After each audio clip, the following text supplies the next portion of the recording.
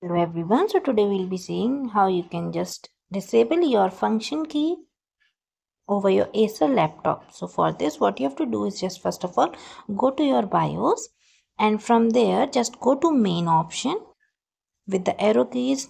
Just go down then just choose an option for your function key behavior. As you will be going through it just select your media keys over function key. So it will basically disable the function key functions as per the default settings of your Acer laptop or you can say your Windows settings.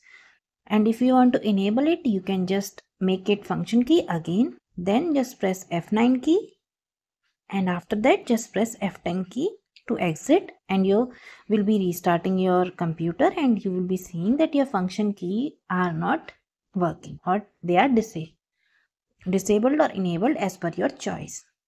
Thanks. Hope you like the information. Thanks for watching